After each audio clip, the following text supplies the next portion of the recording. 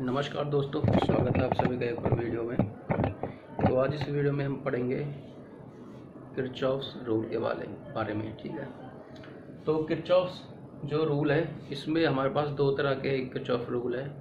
First है जो हमारा किरचॉफ करंट रूल, सेकंड है जो हमारे पास वो है किरचॉफ वोल्टेज रूल, ठीक है?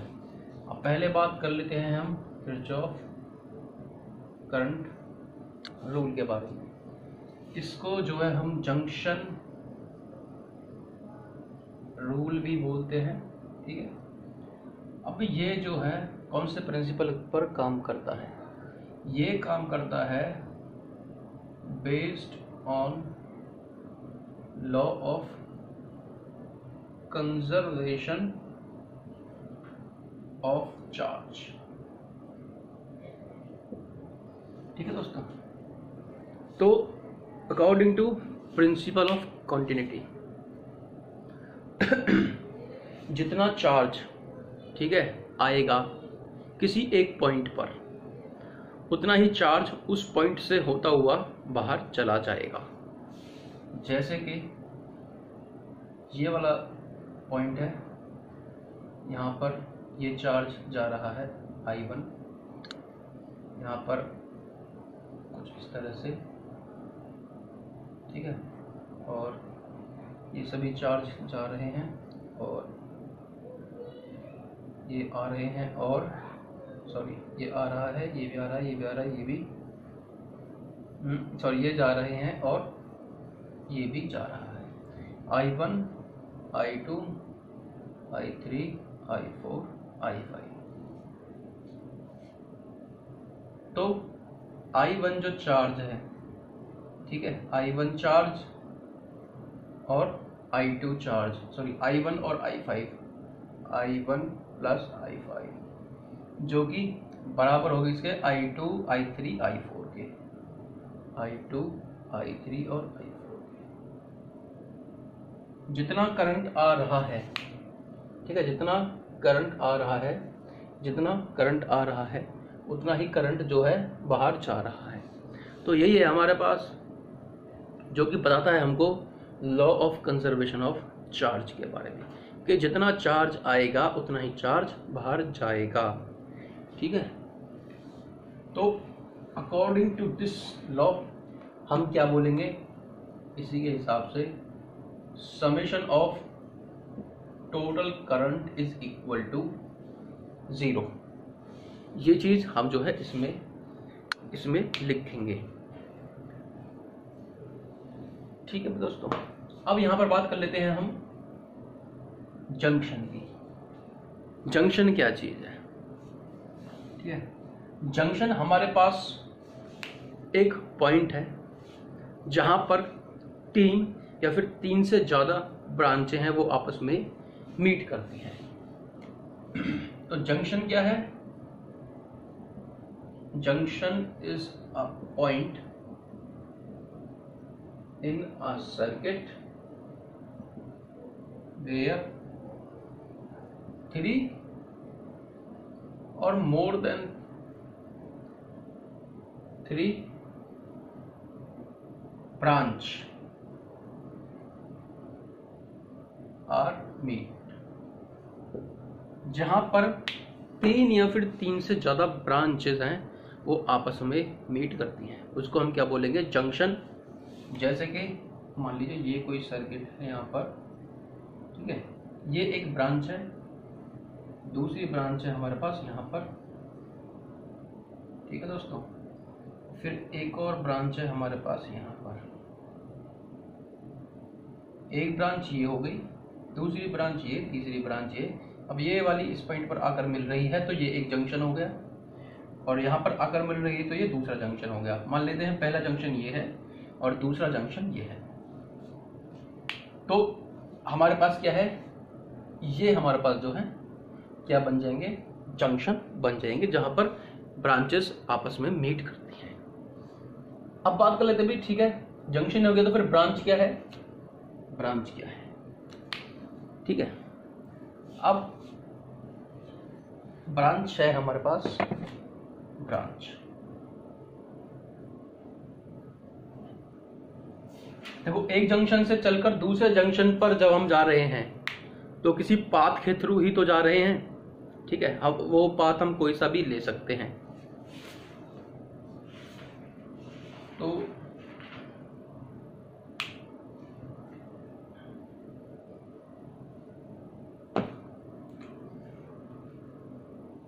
path from first junction to next junction हमारे पास क्या है? ये हमको ब्रांच के बारे में जो है बताएगा। अब ब्रांच में आपको एक चीज़ ध्यान में रखनी है। वो चीज़ है ये। मान लीजिए ये कोई ब्रांच है कुछ इस तरह से। ठीक है? यहाँ पर।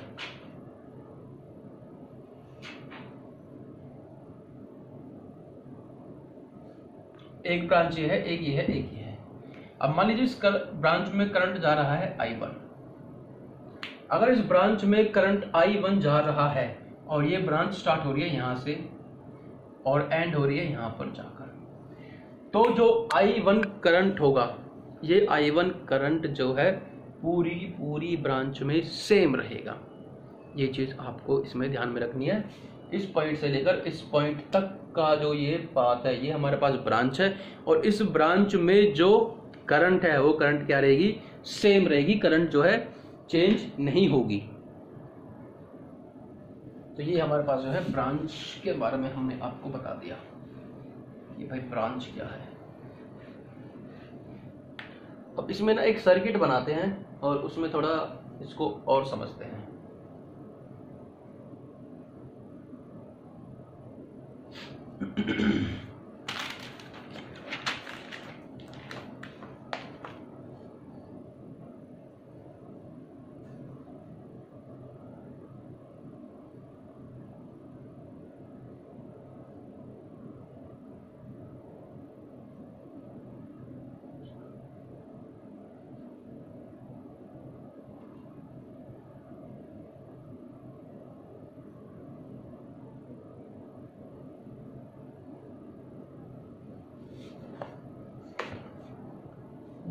मान लेते हैं, यहाँ से करंट आ रहा है आई वन ठीक है? यहाँ से करंट आ रहा है आई टू अगर यहाँ से करंट आ रहा है आई टू यहाँ से करंट आ रहा है आई वन तो law of conservation of charge के हिसाब से यहाँ से करंट कितना जाएगा? यहाँ से करंट मान लेते हैं हम आई थ्री जा रहा है। अब आई थ्री जो होगा, वो बराबर होगा I one plus I two के। तो यहाँ से जो करंट जाएगा वो कितना हो गया? I one plus I two अब इसको एक बार चेक कर लेते हैं इस तरह से? आई वन करंट किस ब्रांच के लिए है? इस ब्रांच की यहाँ से लेकर यहाँ तक के लिए। तो यहाँ पे जो करंट आ रहा है, वो ये आ रहा है कितना? आई वन अब ये वाला आई टू है। ये वाला हो गया आई टू आई टू ठीक है दोस्तों? तो I one plus I two current यहाँ से जा रहा है। I one plus I two current ऐसे जा रहा है तो आई वन यहाँ से आ रहा है आई टू यहाँ से आ रहा है। तो ये देखो, ये I one plus I two यहाँ से मिलकर फिर इस तरफ़ जा रहा है। तो ये जो है हम कुछ इस तरह से अप्लाई करेंगे। क्रिचॉफ का जो सेकंड रूल है, यानी कि उसको हम जो है वोल्टेज रूल या फिर जो है लूप रूल भी बोलते हैं। उसको अप्लाई करने से पहले हमको ये अप्लाई करना होता है। तभी हम उसको जो है आगे सॉल्व कर पाते हैं। तो इसको हटा देते हैं वैसे दोबारा बनाना पड़ेगा ये, कोई बात बना देंगे अब दोस्तों आगे बात करते हैं हम। किरचॉफ वोल्टेज रूल ठीक है? अब ये रूल किस पे काम करता है? ये रूल काम करता है law of conservation of energy कि जितनी भी हम जो है पोटेंशियल एनर्जी देंगे वोल्टेज देंगे तो वो वोल्टेज है जो, वो उस सर्किट के जो एलिमेंट है, वो उस वोल्टेज को कंज्यूम करेंगे। मतलब कि जितनी एनर्जी सर्किट के अंदर जो सोर्स है वो सोर्स जितनी एनर्जी देगा, उस एनर्जी को जो कंज्यूम करेंगे सर्किट के एलिमेंट जो है, उसको कंज्यूम करेंगे। तो ये वाला जो प्रिंसिपल है, ये वाला बेस्ड होता है based on law of conservation of energy इसको हम जो है लूप रूल भी जो है बोल देते हैं। इसमें हम लूप को लेकर जो है सॉल्व करते हैं। जो सर्किट बना हुआ होता है, उसमें जो अलग अलग लूप होते हैं, उन लूप को लेते हैं, ठीक है? उनको सॉल्व करते हैं, फिर उससे जो है हम वोल्टेज निकालते हैं। पहले करंट निकाल लेते हैं मतलब कि करंट वाला रूल अप्लाई कर लेते हैं, तब हम इसको जो है अप्लाई करते हैं। तो इसमें मैंने एक चीज़ और आपको बताया था कि भाई एलिमेंट कि एलिमेंट जो है एनर्जी को यूज़ करते तो एलिमेंट क्या होते हैं? एलिमेंट की बात कर लेते हैं। Element which shows potential difference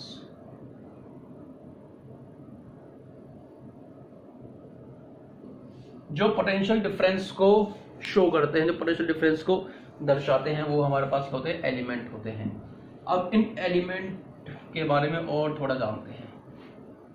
देखो दोस्तों, अब जो चीज़ें हैं, ये चीज़ मैं आपको बता रहा हूँ ना, ये चीज़ आप जब समझोगे तो आपको जो वोल्टेज वाला रूल है लूप के अंदर अप्लाई करने में बहुत आसानी हो जाएगी।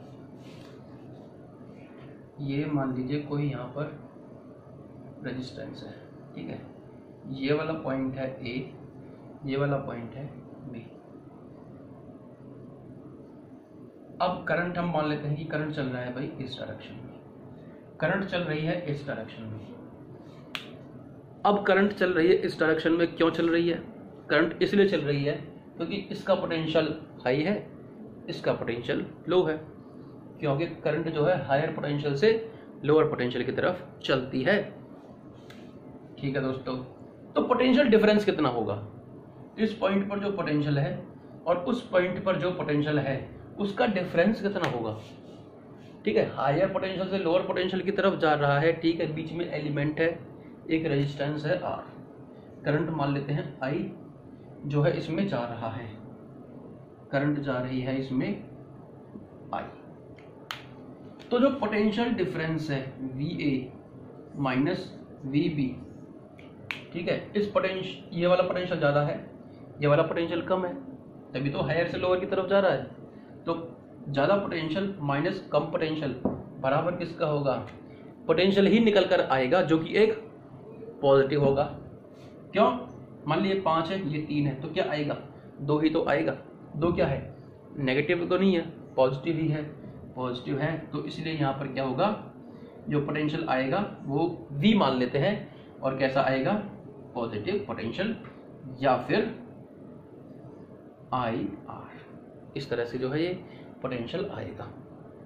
ठीक है दोस्तों? अब देखो, मान लीजिए यहाँ पर जो है मैं एक बैटरी लगा देता हूँ, जिस तरह से। अब ये क्या है? ये हायर पोटेंशियल है, ये लोअर पोटेंशियल है। इस पॉइंट पर वी ए इस पॉइंट पर वी बी तो V A minus V B is equal to इसको हम नाम देते हैं वी इसको हम नाम देते हैं वी हायर पोटेंशियल से लोअर पोटेंशियल जा रहा है और करंट की डायरेक्शन इस तरफ़ ही है। तो V A minus V B ठीक है? जो पोटेंशियल आएगा वो एक, क्या होगा? पॉजिटिव निकल कर आएगा। अगर हम इस डायरेक्शन में ले रहे हैं तो ये चीज़ हमारे पास इस तरह से निकल कर आएगी। अगर हम इस डायरेक्शन को ले रहे हैं, इस हिसाब से ले रहे हैं, ठीक है? अब देखो। अब यही वाला रेजिस्टेंस है यहाँ पर। ये पॉइंट है ए ये पॉइंट है बी अब क्या हो गया? पोटेंशियल जो है करंट की डायरेक्शन हो गई रिवर्स अब अगर करंट की डायरेक्शन हो गई रिवर्स ठीक है दोस्तों? तो मतलब कि ये लोअर पोटेंशियल पे है और ये हायर पोटेंशियल पे है. लेकिन हम जो है V A minus V B V B he V A minus V B ही लिख रहे हैं अब भी. ठीक है हम जो है कैलकुलेशन अब भी उसी तरह से ले रहे हैं जैसे इस तरह से ली थी। इसमें ली थी अब देखो ये क्या है? लोअर पोटेंशियल पर है ये हायर पोटेंशियल पर है। लोअर मतलब कि मान लेते हैं ये तीन पर है और ये पाँच पर है। तो तीन माइनस पाँच कितना हो गया? नेगेटिव दो। तो यहाँ पर जो रेजिस्टेंस निकल सॉरी जो पोटेंशियल निकल कर आएगा वो नेगेटिव आई आर होगा। ठीक है। अब देखो इसको एक मिनट के लिए हटा दो यहाँ पर ये वाला सिस्टम हमने उठाकर यहाँ पर रख दिया। अब करंट की डायरेक्शन कर दी हमने उल्टी। अब करंट की डायरेक्शन अगर हमने उल्टी कर दी तो ये क्या है? कम पोटेंशियल पर है और ये हायर पोटेंशियल पर है। अब करंट की डायरेक्शन होगी उल्टी। पहले जो हमको मिल रहा था V A minus V B कितना? वी तो यहाँ पर जो V A minus V B निकलेगा, वो क्या हो जाएगा? Negative V negative I R one negative V ठीक है दोस्तों? तो ये चीज़ आपको इसमें ध्यान में रखनी है क्या? कि जो है करंट हायर पोटेंशियल से लोअर पोटेंशियल की तरफ़ चलती है। अगर हमने करंट की डायरेक्शन ली इधर, और ये पॉजिटिव आ रहा है, ठीक है? मतलब कि ये हायर पोटेंशियल है, ये लोअर पोटेंशियल है। और करंट की डायरेक्शन इसी तरफ़ है तो यहाँ पर क्या आएगा? जो पोटेंशियल आएगा वो हम पॉजिटिव लेकर चलेंगे। यहाँ पर। अगर करंट की डायरेक्शन इधर है, पहले नेगेटिव आ रहा है मतलब कि लोअर पोटेंशियल वाला, फिर हायर पोटेंशियल वाला तो यहाँ पर जो है पोटेंशियल क्या आएगा? जो रिजल्टेंट पोटेंशियल आएगा, वो नेगेटिव लेकर हम चलेंगे। ठीक है दोस्तों, ये चीज़ आपको समझने में समझने में मतलब कि ज़्यादा ज़रूरी थी। जब हम सर्किट बनाकर सॉल्व करेंगे तो ये आपके लिए बहुत यूजफुल होगी।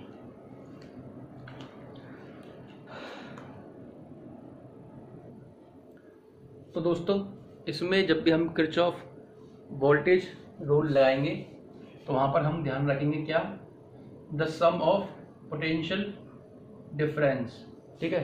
जो सर्किट का, पूरे सर्किट का जो पोटेंशियल डिफरेंस है, ठीक है? या फिर जो समीशन ऑफ़ ऑल वोल्टेज है, वो बराबर कितना हो जाएगा? ज़ीरो तो summation of all voltage in a loop किसी एक लूप के अंदर जो समीशन है, सभी वोल्टेज का, वो किसके बराबर हो जाएगा? ज़ीरो के बराबर हो जाएगा। क्यों? क्योंकि जितनी एनर्जी सर्किट देगा, उतनी एनर्जी जो एलिमेंट है, वो यूज़ कर लेंगे। ठीक है?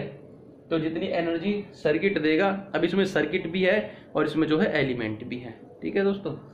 तो वो किसके बराबर हो जाएगा? वो ज़ीरो के बराबर हो जाएगा। सम ऑफ़ ऑल तो यहाँ पर जो है अक्रॉस ऑल एलिमेंट भी लिख दो। बात वही है।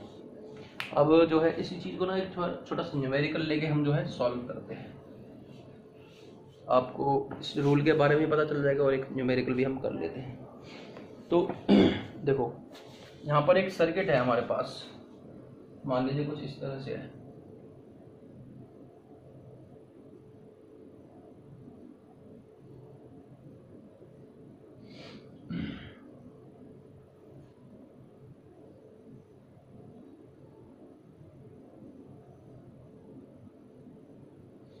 ये 20 ओम इसका रेजिस्टेंस है और ये भी 20 ओम इसका रेजिस्टेंस है। यहाँ पर वोल्टेज 10 वोल्ट यहाँ पर भी सोर्स जो है 10 वोल्ट का दे रखा है। और हमको बताना है इसमें जो करंट फ्लो हो रहा है, उस करंट के बारे में हमको बताना है और ये जेई मेन्स में इसमें जो है पूछा जा चुका है आपका 2019 में। ठीक है दोस्तों, ये 2019 में पूछा जा चुका है जेई मेंस में इसमें। करंट के बारे में बताना है कि भाई करंट कितनी होगी? देखो, हम मान लेते हैं यहाँ से जो करंट आ रही है, वो करंट इस जंक्शन के बाद क्या हो जाएगी? डिवाइड हो जाएगी। तो इसमें मान लेते हैं आई वन इसमें मान लेते हैं आई टू तो आई वन और आई टू कहाँ से आ रही हैं? इस ब्रांच से आ रही हैं। तो इस ब्रांच में जो करंट जा रहा है, वो कितना है? I one plus I two ठीक है दोस्तों तो ये करंट इसमें से होता हुआ जा रहा है। अब देखो अब इसको हम लूप रूल क्यों बोलते हैं? अब क्या करना है? अब हमको जो है, देखो, इसमें पहले तो देखो कितने लूप बन रहे हैं। पहला लूप तो ये है। ये मान लेते हैं नाम A B C D E F एक लूप तो यह है ए बी सी डी एक लूप ये है ए एफ़ ई डी और एक टोटल लूप है ये, ठीक है? तो इसमें जो है, तीन लूप हमारे पास बन रहे हैं। अब हम निकालते हैं कि भाई ये वाला लूप हम ले लेते हैं। और करंट की डायरेक्शन इधर है तो कुछ इस तरह से। ठीक है? तो इसको अब यहाँ पर मैं मिटा देता हूँ। करंट की डायरेक्शन इस तरफ़ है, कुछ इस तरह से। किस तरह एंटी क्लॉकवाइज जो है, करंट की डायरेक्शन है। अब देखो आई वन यहाँ से चल रहा है। अब ध्यान रखने वाली बात क्या है? पहले हम जो है, क्या करेंगे? पहले हम किरचॉफ करंट रूल लगाएँगे। उसके थ्रू हम जो है उसके बाद हम जो है वोल्टेज रूल लगाते हैं और जो भी चीज़ हमको निकालनी है वोल्टेज रेजिस्टेंस करंट हम निकाल लेते हैं। अब हमको निकालना है कि भाई हमको करंट निकालना है। करंट निकालना है तो देखो आई वन ये तो हमने लगा ही दिया करंट रोल करंट रूल तो कि भाई अगर यहाँ से आई वन जा रहा है और यहाँ से आई टू जा रहा है तो आ कहाँ से रहा है? इस ब्रांच से, जो कि I one plus I two के बराबर है। तो यहाँ से फिर आएगा कितना? आई वन इस जंक्शन से इस जंक्शन तक, एक ब्रांच है तो इसमें आई वन आएगा आई वन आएगा। अब इस जंक्शन से, इस जंक्शन तक, इस डायरेक्शन में, फिर दोबारा से एक ही ब्रांच है, ठीक है? इससे एलिमेंट में जो करंट रूल है, उसमें एलिमेंट कुछ भी फ़र्क नहीं डालेंगे। तो आई टू क्या रहेगी? से यहाँ से। आई वन आई टू अगर फिर दोबारा से जो है इस ब्रांच में जा रही है। ठीक है दोस्तों, ये करंट रूल हो गया। अब देखो। अब बात आती है क्या? Kirchhoff voltage rule sum of जो है वोल्टेज ठीक है? Across all element in a one loop किसी एक लूप के अंदर कितना होगा? ज़ीरो होगा। पहले ये लूप ले लेते हैं, बाद में ये लूप ले लेते हैं। अब आ जाओ, ये वाला आई वन जब आई वन इस तरह से आ रहा है डायरेक्शन इस तरफ़ है? यहाँ पे डायरेक्शन ये, फिर यहाँ पे डायरेक्शन ये। तो जब यहाँ पर आएगा करंट तो डायरेक्शन इस तरह से है। अब जब करंट यहाँ पर आ रहा है तो पॉजिटिव ये है सॉरी जो है हायर पोटेंशियल ये है लोअर पोटेंशियल ये है। और करंट की डायरेक्शन क्या है? कुछ इस तरह से है अपोजिट है। ये मैं आपको पहले ही बता चुका हूँ। तो यहाँ पर क्या आएगा? नेगेटिव टेन ठीक है दोस्तों, ये पोटेंशियल उसके बाद यहाँ से चलता हुआ इस जंक्शन में पहुँच गई। तो ये यहाँ से और यहाँ तक ये ब्रांच क्या हो गई? खत्म हो गई।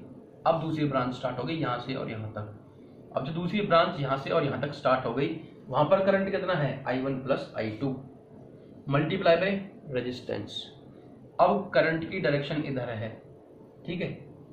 तो हायर पोटेंशियल से लोअर पोटेंशियल तक जा रहा है। ये current I one plus I two multiply by क्या? रजिस्टेंस हमारे पास। पोटेंशियल निकल कर आ जाएगा अक्रॉस दिस एलिमेंट तो क्या हो जाएगा? I one plus I two multiply by twenty तो sum of potential difference across all element in a, in this loop is equal to zero तो ये इस लूप के लिए निकल गया। अब इस दस को उठाकर आप जो है यहाँ पर ठीक है? अब ज़ीरो से ज़ीरो हटा दो तो यहाँ पर ये एक इक्वेशन हमारे पास बनकर आ गई। अब ये वाला लूप ले लेते हैं। इस वाले लूप में देखो अब, इस पॉइंट से लेकर इस पॉइंट तक। एक ही ब्रांच है। करंट कितना है? आई टू करंट कितना है? आई टू आई टू आया, ठीक है? मल्टीप्लाई बाय ये पहला वाला रेजिस्टेंस ठीक है? तो पहला एलिमेंट मल्टीप्लाई बाय ट्वेंटी तो ये हमारे पास पहला पोटेंशियल मिल गया। पहला पोटेंशियल मिल गया। अब आइए जरा आगे। अब करंट की डायरेक्शन इधर है? ठीक है? तो ये लोअर पोटेंशियल और ये हायर पोटेंशियल तो क्या होगा? फिर दोबारा से नेगेटिव टेन ठीक है? अब उसके बाद आइए और यहाँ पर क्या हो गई? ब्रांच खत्म। ब्रांच खत्म। यहाँ से दूसरी ब्रांच स्टार्ट क्योंकि यहाँ पर क्या है? जंक्शन है। अब इसमें कौन सा करंट जा रहा है? I one plus I two multiply by twenty जो कि इसका पोटेंशियल डिफरेंस के बारे में हमको बताएगा कितना? I one plus I two multiply by twenty is equal to zero for this loop ठीक है? अब देखो, ये वाला जो नेगेटिव टेन है, ये वाले नेगेटिव टेन को उठाकर आप इधर ले आओ। पॉजिटिव टेन हो गया। अब I two twenty plus I one twenty plus I two twenty is equal to ten ठीक है? और देखो बीस बीस और बीस सब में है। तो ये हटा दो सबसे आई टू टू और आई टू टू कितना हो गया? Four I two four I two plus I one और ये क्या है? दो है, ठीक है? इज़ इक्वल टू वन एक इक्वेशन हमारे पास ये हो गई, एक इक्वेशन हमारे पास ये हो गई। अब इनको जो है सॉल्व कर लेते हैं। Two I one plus two I two is equal to one two I one plus four I two is equal to one घटा देते हैं। ये हट गया, ये हट गया।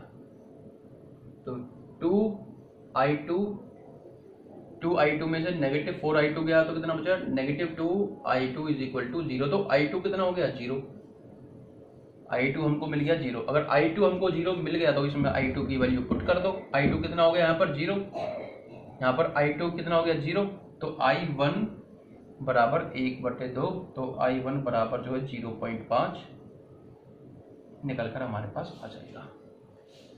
ठीक है दोस्तों तो जो किरचॉफ वोल्टेज रूल है, किरचॉफ वोल्टेज रूल में आपको ध्यान में रखना है, summation of all potential difference, ठीक है, in a one loop for all element, किसी एक लूप के अंदर जो उसके सभी एलिमेंट है, ठीक है, उनका जो पोटेंशियल डिफरेंस है, summation of all potential difference, कितना होगा? ज़ीरो के बराबर होगा। ये आपको सेकंड में लगाना है, लेकिन सेकंड से पहले आपको फ़र्स्ट अप्लाई करना है, तब आप जो है सेकंड को यूज़ कर पाओगे। तो ये कुछ इस तरह से हमको सॉल्व करने पड़ेंगे। अगर आपको वीडियो अच्छा लगे तो हमारे चैनल को सब्सक्राइब कीजिए, वीडियो को लाइक कीजिए और शेयर कीजिए सभी स्टूडेंट्स के साथ। वीडियो देखने के लिए धन्यवाद। अगर आप ये वीडियो फेसबुक पर देख रहे हैं तो Vikas Malik physics and mathematics को यूट्यूब पर जाकर सब्सक्राइब करना न भूलें।